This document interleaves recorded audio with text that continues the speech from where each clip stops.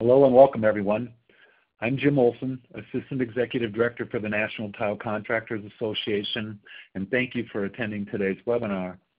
Today's webinar is titled Sustainable Floor Coverings, the Case for Ceramic Tile.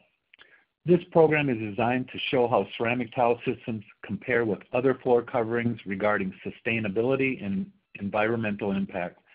Attendees will learn how ceramic tile installations conserve energy and resources and reduce the carbon footprint and how ceramic tile installations reduce product cycle environmental impacts and can help optimize occupant health. Our sponsor for this presentation is Custom Building Products. Now before we continue, I have the following business to discuss. Today's webinar will be muted. Please use the participant feedback or the chat screen on your computer to type in your questions and we will answer those questions at the end of this presentation. All of our webinars are archived and available to watch at any time after the webinars are presented. I will provide my email address on the chat screen when we begin. Please email your request to me. Also, today's program is AIA accredited for one hour of CEU. I will also uh, put Mike Little, our presenter today, I'll have his email on there and you can uh, contact him to get signed up for your CEU. If the audio on your computer is poor, call the number on your chat screen to listen on your phone.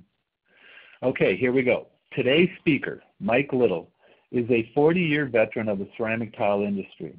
He has held management positions in both sales and operations during his career in the ceramic tile industry. In addition, he has worked for both manufacturers and distributors in various capacities. For the last 14 years, Mike has worked as an architectural consultant with Custom Building Products. Mike is a member of the Construction Specification Institute and is a construction documents technologist. He belongs to the Ceramic Tile Institute and is a certified tile consultant. Mike is also a professional affiliate with the Dallas chapter of the American Institute of Architects and an industry partner with the American Society of Interior Designers. He has earned the designation of Certified Concrete Slab Moisture Testing Technician from the International Concrete Repair Institute. Welcome, Mike. We're looking forward to a great presentation. Thanks, Jim. I certainly appreciate that. And thanks to all of the attendees who are joining us. What we're going to be talking about today is sustainable uh, floor coverings and how tile stands up to some of the other uh, choices that you may have in this arena. Uh, this is, as Jim mentioned, a one-hour health, safety, and welfare credit. Uh, if you email me, I'll be sure to get you a certificate so that you can report this. Some of the things that we're going to take a look at today include uh, understanding how the life cycle cost comparisons are between tile and some of the other floor finishes. We'll talk about uh, how tile stands up regarding sustainability and environmental impact. Uh, we'll spend a, good deal of time talking about VOC content and how it compares to the other choices. And then lastly, we'll try and cut through some of the confusion that results because of all of the different people that have their their hand in this green or sustainable uh, arena, and it's, it's too numerous to mention. When we talk about sustainability, it's, it seems obvious on the surface, but it's often not as obvious as you may think. For example, you've got a, a, photo here. From an environmental standpoint, the question is, which one is more envi environmentally friendly? A styrofoam cup or a porcelain mug. Now, most people are going to pick the porcelain mug most of the time. And the answer to that question is it really depends on what context you're putting this into. For example, let's say that we want to keep materials out of landfills. We're concerned about preserving the green space that we already have. Well, in that case, the porcelain mug wins hands down. Uh, the styrofoam cup is not biodegradable, uh, as are most uh, petroleum byproducts. Uh, the porcelain mug theoretically could be reground and used in other materials, and if not, they're natural materials that would just go back to the soil. So that, that's an easy win for the porcelain mug. But let's, let's let's say we're concerned about water conservation. And, and believe me, there are parts of the world and parts of the United States that are very concerned about that. Uh, about 10 or 12 years ago, uh, there's a lake that's, that's on the border between Georgia and North Carolina called Lake Lanier. And it provides most of the drinking water for Atlanta, Georgia and surrounding areas. And about 10 or 12 years ago, the Corps of Engineers did a study and found out that that lake was within months of going dry. Well, I can assure you that if you're designing facilities in that particular area, water conservation is, is a great deal, you know, means a great deal to you.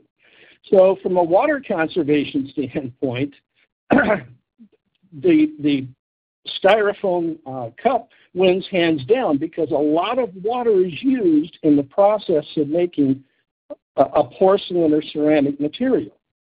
All right, let's let's look at another aspect. Let's let's look at energy consumption. A lot of people are concerned with how much energy is being consumed, particularly if that energy is is is derived from uh, fossil fuels. Well, here's here it gets a little bit tricky. From an energy standpoint, it requires twice as much energy to make the styrofoam as it does to make an equal amount of porcelain. The problem is the ceramic mug weighs about 70 times as much as the uh, this, the styrofoam cup, so it it skews that that uh, characteristic pretty significantly. The other aspect is the styrofoam cup is just thrown away. The porcelain mug is reused, it's washed.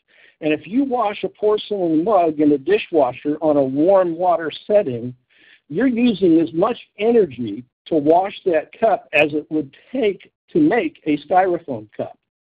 So again, whether one is better than the other really depends on the context. On the context, uh, particularly from a health standpoint. Health is, is another aspect. Uh, the the basic product that's used to make styrofoam is styrene. It's a petroleum byproduct. And if you look it up, styrene has, has some very significant health risks associated with it. It's one of the reasons that a lot of the more health conscious companies are choosing to, to get away from styrofoam containers and go to paper ones. So the, the idea is that there's an easy and quick answer for all of these sustainable questions is not necessarily true. It really re- requires finding out what your, your particular concern is. Now, when we talk about comparing flooring materials in particular, I thought I'd start with probably the, the most rapidly growing flooring material out there, and that's a plastic-based flooring material. It's one of the more popular options out there. From a global standpoint, this particular market segment is, is predicted to grow at a 12.8% compound annual growth rate. Now, what that means is that it's an $18 billion worldwide industry in 2019 and it's projected to reach $31 billion by the, by the year 2024 in just five short years. So when we talk about plastic-based flooring materials, what are we talking about? Because there's a lot of, a lot of different types of, of plastic floorings. Uh, these are just some of the more common ones. We've got luxury vinyl tile. And luxury vinyl tile is an industry term. It's not a standard. We've got wood polymer composition flooring, and we've got stone polymer composite flooring, clay polymer composite flooring, and then rigid core board. All of these are petroleum-based products that require some kind of a chemical process to be produced. Now, why is LVT in particular so popular? Well, for some very good reasons. Consumers and designers like LVT for its low prices, it's very realistic graphics. It has the ability to mimic uh, wood, stone, uh, tile. Uh, it, it, it's a very effective product. Uh, it, they like it for its durability and its maintenance aspects. Now, the two photographs that you see there, the photograph on the left is an LVT product. The photograph on the right is a, is a, a uh, porcelain tile product. So similar looks and similar uh, uh, a feel to the to the product itself. The other thing that comes into play here is the, the expense of installation. LVT is a much less expensive product to install. So you, you take all of those factors and it gives it the kind of growth rate that we just talked about. So what is LVT? Well, what you're looking at on the screen right now is the chemical uh, uh, equation for making uh, LVT, which is the polymerization of the vinyl chloride mon monomer. As you can tell, it's a chemical process. It starts with the petroleum byproduct. It's it's done uh, on, on, a on a chemical uh, basis, and it's it's the building block for most of these uh, plastic-based floorings. So, is LVT a good sustainable choice? Well, here's where I, I throw up a caution sign. I think there there are some things about LVT or plastic-based flooring that are cause for concern. Why you know why isn't it maybe the best choice available? Well, number one, there is no completely safe way to manufacture or dispose of PVC. Much like our styrofoam, all of these different plastic-based floorings are not biodegradable. So that they're going, at the end of their life, they're going to end up in, in some kind of a landfill somewhere, and we don't really know how long it's going to take for that material to decompose if it ever does. Vinyl chloride itself has been classified as a human carcinogen. It's actually on the Living Building Challenge red list. It's one of those, those in, ingredients that, that, they're concerned about. Uh, it's not biodegradable. Uh, PVC contains ethylene dichloride, mercury, and other chemicals, and most of which have been banned from children products and other consumer goods. And then finally, the emissions, the VOCs from PVC create health hazards including dioxins and furans, two of the most toxic chemicals on the planet.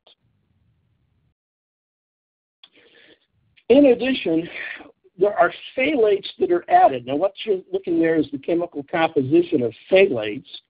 And what are phthalates and how do they relate to uh, an LVT? Well, phthalates are plasticizers. It's what they use to make PVC softer and more pliable. Uh, the PVC piping that you see is that we commonly use in irrigation systems and whatnot is the same kind of PVC, but none of these phthalates have been added to it. Once they add these phthalates to it, the problem is there are, are many different types of phthalates available, and some have been proven to cause cancer, and then some have been shown to be endocrine dis- disruptors. And the problem is we really don't know which ones are being used in LVT because of a lack of proper labeling. In many cases, that particular product can be can be termed uh, a proprietary product, and it doesn't have to be listed on any kind of labeling as it now exists. So we sometimes don't know what's in that particular product. So, what about degradation or well wear of LVT? Degradation, you know, the, the wearing of this product occurs over a, a long period of time. It results in the surface becoming brittle and microcracking. And then when it starts to microcrack, these small, very micro, very small particles uh, continue in the air, and these particles act like little sponges, and they soak up persistent organic pollutants around them. And the difficulty with this is, at that point, these are small enough that they can be ingested. You can breathe them in. You, you know, and and one of the areas that I see uh, LVT being used most commonly, and in in huge masses, is in schools. And it just it it bothers me that that's a possibility for these kids. You know, as this product continues to wear, for them to be breathing in something that, that's that's you know could be that hazardous to them. So that's that's one of the most popular products out there. How about tile? Tile's been around for a long time. Why is tile such a better choice from a sustainable standpoint? Well, number one, ceramic tiles are made from natural occurring minerals. The life expectancy of a, ceramic or porcelain tile is 60 years. 60 years is the life of a building. It's a lifetime product. What it means is that the the flooring or the wall uh, finish that you use is if it's installed and, and, selected properly, will be there for the life of the building. It will not have to be replaced other than for aesthetic reasons. Ceramic tiles do not contribute VOCs to the air. There's no off-gassing of ceramic tile. They can't become contaminated. Uh, porcelain tile, as we all know, has less than one half a percent absorption. Uh, it's safe for those with chemical sensitivities. Once it's installed, it, it's virtually non-detectable, and it can be disposed of safely. In fact, there are there's at least one company out there that's actually using uh, porcelain tile that's been uh, removed from existing job sites, and they're actually using that in the process of making more ceramic tile and porcelain tile. And virtually every manufacturer does that from the inside of the factory. Uh, they're using what doesn't pass for standard grade material and they're recycling it back, grinding it back up, and using it in the body of the material. And that occurs for just about all of the ma major manufacturers here in the United States. When we talk about natural materials for ceramic tile, the two main components of, porcelain tile are clays and feldspars. It comes from the earth. It's a, it's a, a, naturally occurring product. It's one of the reasons that it can be disposed of so easily. It goes back to the earth. so it's, it's made from natural ingredients. It, it's naturally inert. It's hypoallergenic. It's free from any toxic chemicals. There are no VOCs, no formaldehyde, or no PVC in ceramic tile whatsoever. In addition to those qualities, it's also slip resistant, fire resistant, energy efficient, and very, very sustainable. Now, when we talk about comparing flooring materials, one of the things that's important to do is to make sure that we're comparing the entire system. the entire system includes whatever it is that we're installing that particular flooring with because it all has a very serious impact on, on the relationship of that material. So let's take a look. One of the things that uh, LEED version 4 did when it came out was switch the sustainable subject matter from single attributes of particular products to a more holistic view. And, and a big part of that were life cycle assessments. And we're going to talk about that here in just a second. But I thought it's important enough to talk about there are different types of life cycle assessments. And it's important to know this because depending on which one is chosen, it can really have a huge impact on how that particular product looks. The first one on there is cradle to gate life cycle assessment. And what this means is they're looking at all of the energy and environmental impact of gathering all the raw materials to make a particular product, the manufacture of that product, and then the, the, the assessment stops at the gate of the factory. It doesn't include for example, transportation costs to any anybody using it down the road. Uh, it's it's a very short life cycle assessment, and it's, one that a lot of manufacturers use because obviously it looks you know it's it's a more favorable uh, result than if it was to take you know take it a little bit further. The next one on there is called cradle to grave. Cradle to grave starts with the accumulation of all of the raw materials necessary to make the product, and that includes the, the energy needed to mine it or to make it, the energy to transport it, uh, uh, the energy to manufacture the final product. It takes it through the cycle of, of if there are middlemen involved, the middlemen to the end user, uh, and then the, the use of that product, and cradle to grave stops at the the removal and disposal of that particular product. That's probably the most common kind out there. The other life cycle assessment, and the one that the sustainable experts would like to see us use, is cradle to cradle. And the difference here is we're still assembling all of the materials needed to manufacture a particular product. We're still manufacturing the product. We're still getting it to the end user. The end user is using it. The only difference is what we're talking about here is once the product has reached the end of its useful life, how is it recycled back into the, into the system so that it's a circular motion rather than just ending up in a landfill. And that's the one that's, that's most people, you know, most environmentalists would like to see us use.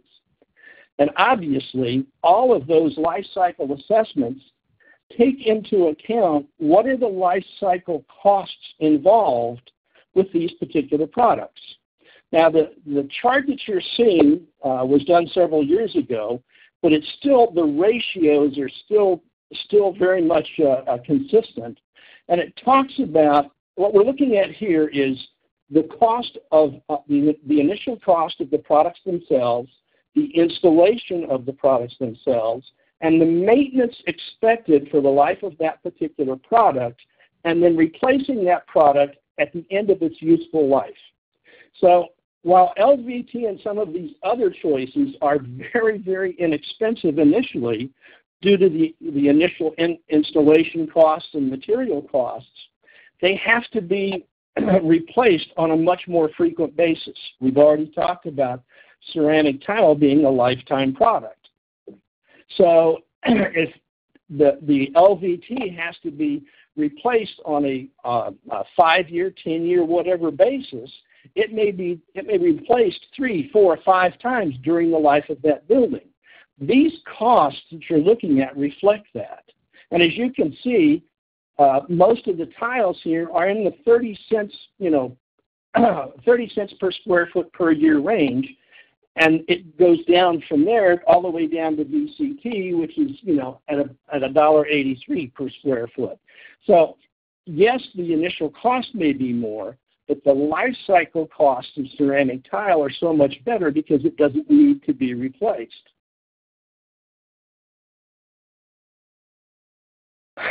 One of the real hot buttons with sustainable in general are VOCs. It's probably one of the first things that started this, this uh, particular drive. VOCs are volatile organic compounds. These are gases that are emitted into the air from different products. Some are harmful by themselves, and then in addition to that, some can be combined with other gases and form other air pollutants. Now, some of these are, are inevitable, and they're, they're available and, and around us more so than we know. For example, here are just building materials, home and personal products, and fuels and machinery that all have VOC contents of one kind or another on, in them. Um, and as you can see, some of these are, are, are you wouldn't have expected that. Uh, so it's, it's a product that's all around us, and obviously what we're trying to do is reduce this as much as, as humanly possible. That's why most of the sustainable guidelines that we see have a VOC limit based on the product category itself. Uh, very important consideration. So when it comes to VOCs, how does ceramic tile, and particularly the installation materials that we use, how does it compare to some of the other flooring products that you, that you have available to you? Well, ceramic tile doesn't, as we've already discussed, doesn't have any VOCs in it. So it's a 0.0. The installation adhesives that you see there, that 0.9, refers to there are some uh, epoxy bonding and, and grouting materials that do have some small levels of VOCs in them. I can design a ceramic-based or a cement-based uh, installation for you using a cement-based mortar and a cement-based grout that very easily has absolutely no VOCs within, this, within the entire installation itself. Now you combine, you know, you compare that to the linoleum and some of the, the broadlooms and the adhes- and particularly the adhesives that, that, that those particular products use, and you can see that by comparison, there are just a lot more VOCs available in a lot of these products. Now, I will tell you that over the years, all of the manufacturers, you know, are, are doing their best research and, development to remove as many VOCs as they can from products. It's why there are VOC levels, you know, for example, in, LEED uh, uh, uh, as defined by one of their sections. So these are just comparisons to say, you know, if it, if it has a little bit, okay, it may not be, you know, totally harmful to you, but zero is still better than even a small uh, amount. So our, our installation materials, they have very low VOC contents. Our cement-based materials have none. Uh, the only time you, again, the only time you find VOC content is usually in solvent-based sealers and some of our epoxy materials. Um, our cement-based materials uh, don't support the growth of mold and mildew, not necessarily because there's anything added to that particular product, but most of the time because cement-based products by nature are highly alkaline. um, and, and the fact is that mold and mildew has a very difficult time living in, a, in a, an alkaline environment. Uh, I can show you water-based maintenance products, both sealers and cleaners, uh, that have no VOCs in them that are just as effective as some of the solvent-based. Uh, we have membranes, sound attenuation membranes, that actually improve acoustic environments, particularly hard surface floors over occupied space. So there's an acoustic improvement. And then finally, a lot of the manufacturers are using lightweight materials in their mortars and grouts to help reduce the weight of the products. And that reduction in weight has a tremendous impact on the emissions for the transportation uh, of that product to the end use. So it, it has a tremendous effect. And that's one of those categories that often doesn't really show up uh, in, in the LEED format or the Green Globes format or anything else. There isn't a particular category uh, for that.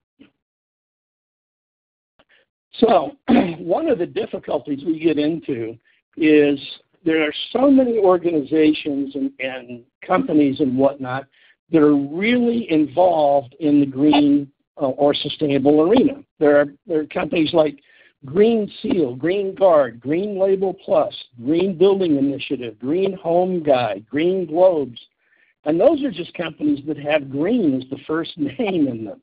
So part of the problem or the confusion that we have is what are all these companies doing? well, most of the time, excuse me, most of the time, what, what they're doing is in one of these four areas. It's either standards, rating systems, codes, or third-party verification companies.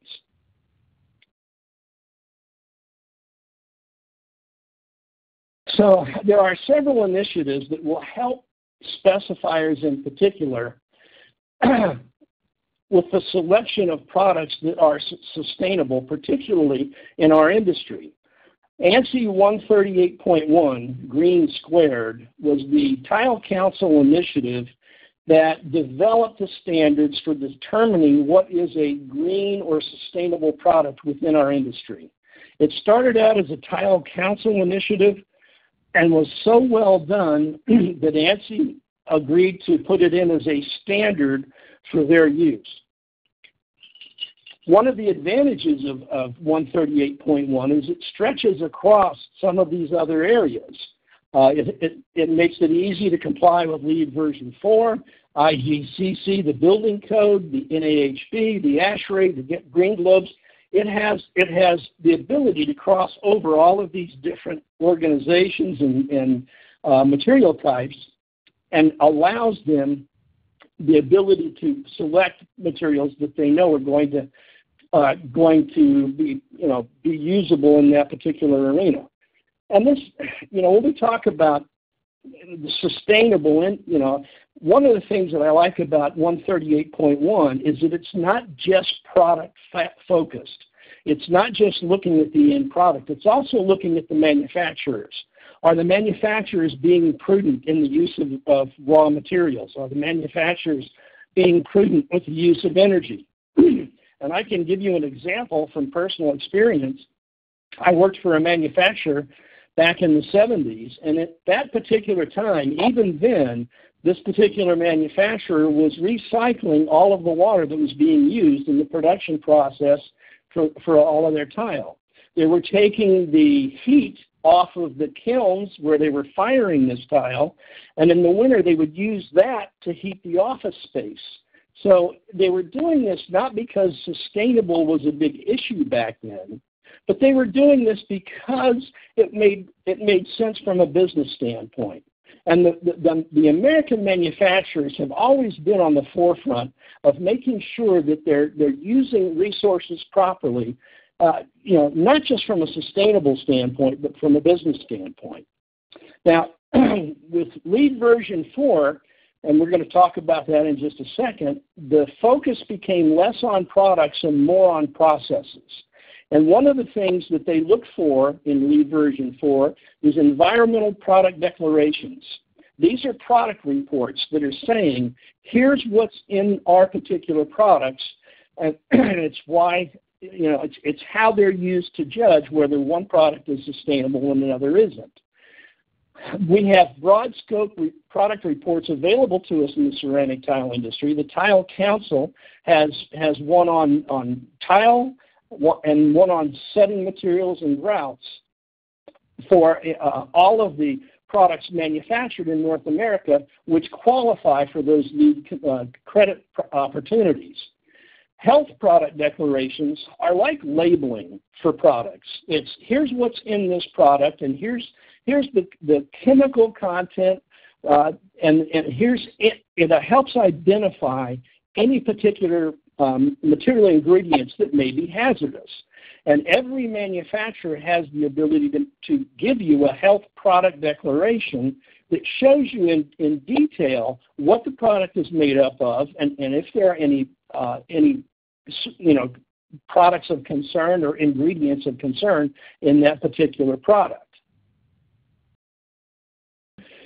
And as I mentioned, ANSI 138 was developed by Tile Council members. It covers not only the tile, but the installation products. And it is product, not project specific. In other words, it's looking at individual products. It has a full sustainable commitment. It's looking at the manufacturer as well as the product. It, it will give you VOC contents very clearly in terms of a percentage.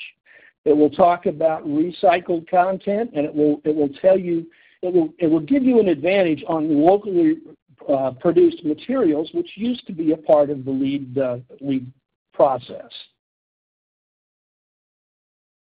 Now we also have green rating systems.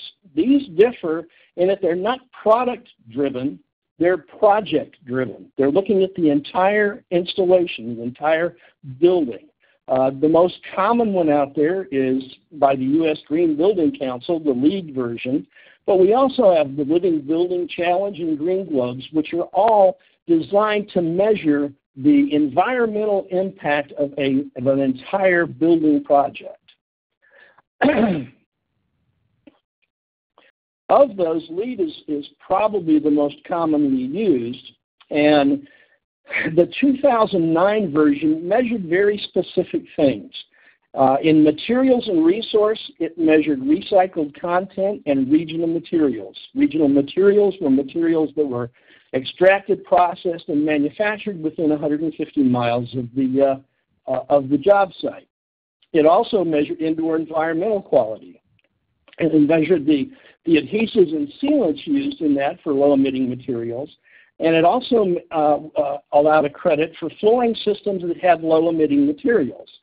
Ceramic tile in this particular LEED version was one of the few products that didn't have to justify that it was a low-emitting material. It was, it was uh, assumed by everybody involved, including LEED, that it had no VOCs and it had no uh, emitting materials that could cause harm to the environment. It was one of the one of the things that made uh, one of the, the subsequent versions very easy to use from a credit standpoint. But version 4 changed, changed quite a bit. It changed the, the dialogue of, of sustainability. Uh, they wrapped most of those other credits into a more holistic or, or wide-reaching uh, environment. For example, under materials and resource, they now have a building product disclosure and optimization uh, category where you have the option to achieve credits for, participation in this, in this uh, category. And it includes the environmental product declarations and the, industry declaration that the Tile Council did is, is viable for that particular credit. And it also includes the health product declarations that the individual manufacturers can supply. So it makes it easier for that, uh, uh, uh, for that credit to be qualified. On the indoor environmental quality, there are VOC content limits for on-site wet applied products. Uh, that didn't change much. The, the level of VOC content didn't change. Uh, they just required a different testing mechanism to determine whether or not something met those, those, uh, those criteria or not. And the missions requirement uh, required specific testing to make sure that there was an apples to apples comparison for that particular credit. All of these things made it a little bit more difficult for the manufacturers, but the fact is everybody is adjusted to this and now has a, the ability to tell you, you know, how, how their particular products can help you uh, help you toward the, the credit op opportunities in each of these uh, LEED categories. We also have green building codes, uh, ICC 700 for commercial, uh, for residential, and IGCC for commercial. And building codes are just like other ICC regulations. In order to be required, they have to be adopted by municipalities. Now, I know of one particular case where the, the municipality actually adopted a code before it was finalized. It was in Maryland, as a matter of fact. Um, I, I, sit on the uh, ASTM E60 committee for sustainable products, and and it was amazing that in the rush to make sure that they were part of the sustainable or green environment, uh, uh, municipalities got a little bit ahead of themselves. But the fact is, they can be adopted by municipalities, and when they are, they no longer become a voluntary program, it becomes mandatory. All of the products have to meet the various qualities that are set forth in that particular uh, uh, category. And the, particular product components that, they're measuring are very similar to LEED. In fact, if you look across all of these different codes and rating systems, you're going to find that their, their, their system is pretty much is pretty much measuring the same things. VOC content, recycled content, all of those things are going to show up in these various codes and, and rating systems. Then we get into the green building third-party certification services. Third-party certification simply means that an, uh, it's an independent organization has reviewed the manufacturing process of a particular product and has determined that the, final product actually complies with specific standards. Now, when it comes to the green environment, most of what they're talking about is VOCs. For example, when GreenGuard first came out, the only thing they were measuring was VOC content. So what they would do is they would take your products, they would measure, you know, they would test them according to the testing methods uh, applicable, and they would measure the VOC content, and they would say, yes, the, this particular product meets this particular category for that particular standard. So uh, I, I, caution, I caution uh, uh, designers and architects, don't get caught up with a particular testing method so much as with the requirement that the products meet certain standards. And again, an easier way to do this is to make sure that you're specifying 138.1 green squared materials as opposed to having it independently tested because these, these independent testing uh, labs are very expensive and they do it on a per product basis and many manufacturers simply don't have the wherewithal to test all of their products all of the time, you know, to meet these specific categories. And sometimes if you, you put down it must meet a certain third-party certification, you may be eliminating products that are actually more sustainable for your particular project but someone who has a better sustainable uh, prod, uh, product may not be able uh, to meet that particular uh, certification just because of the costs. So be careful when you use that. So the upshot of all of this that we're talking about is that ceramic tile systems provide one of the most environmentally and economically sound flooring alternatives out there. It's a long-term product. It has virtually no health uh, uh, detriment to, to anybody, any of, any of the users, uh, and, it's a lifetime product that will last for the life of the uh, project or the building. So I thank you. Are there any questions, Jim? Mike, um, great job. You uh, provided some very important environmental health and green build information, and uh, uh, I think it's very important to us and our, our world. But uh, we do have a couple questions. So the okay. first question uh, has to do with the slide I clicked up right now, your slide number 23, and it's talking -huh. about VOC numbers. Are those VOC numbers in um, uh, unit of measure of grams per liter? No, actually, they're in milligrams per square meter. Uh, it was I, I, that's information that was taken from the uh, Building for Environmental and Economic Sustainability uh, manual. Great. I uh, uh, I did not know that. So um, next question is um, from slide number 30. You were talking. Mm -hmm. Let's see here. All right. So what about construction and demolition waste, um, waste management points for your LEED, for your LEED certification? Do you have any information at, at on the, that? At the present time, it doesn't show up in any of the categories uh, under new materials. It may show up under the waste material management category. All right. Um, in regards to your, your finishing there, can EPD be self-declared? No. No, environmental product declarations cannot be self-declared, but an industry can put one out similar to what the Tile Council did uh, for the tile industry. Uh, industry-wide EPDs are certainly acceptable to LEED, but they cannot be self, self-declared unless they go to the expense of a life cycle assessment. Now, the reason that, that industry-wide EPDs are so valuable is that it allows you know companies to share information when there's a commonality uh, of materials being used, and that's that's you know most companies you know don't have the hundred and fifty thousand dollars it takes to do a uh, life cycle analysis of each particular product. So they, they kind of go in as an industry and lump those together. So no, no they can't be they can't be uh, can't be self uh, self declared. That has to come from either a, a third party or, or in this case, Tile Council. All right, talking about life cycles, if there's mm -hmm. a mm-hmm. project where you know they're going to change the floor every seven or eight years, how would you assess those costs or what material is ideal to use? Well, you know, it's it's funny. We have we have that kind of situation that occurs a lot in uh, Las Vegas, Nevada. Uh, their life cycle costs are are astronomical because they're usually usually looking at about a five year lifetime, and you know, in these casinos and, and hotels.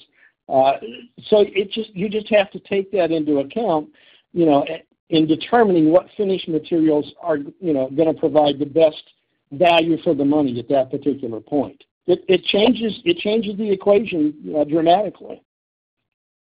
Yeah, and I think you would take each category and figure it out for seven to eight years, um, as opposed to yes. uh, you know the years like uh, ceramic and, and tile. You put I think 60 years, the lifetime of a building or whatever. So, um, yeah, that's just a, ma- a mathematical you know figure you can figure out. So that's great. Correct. Um, where can where can you find more information on testing methods and certifications?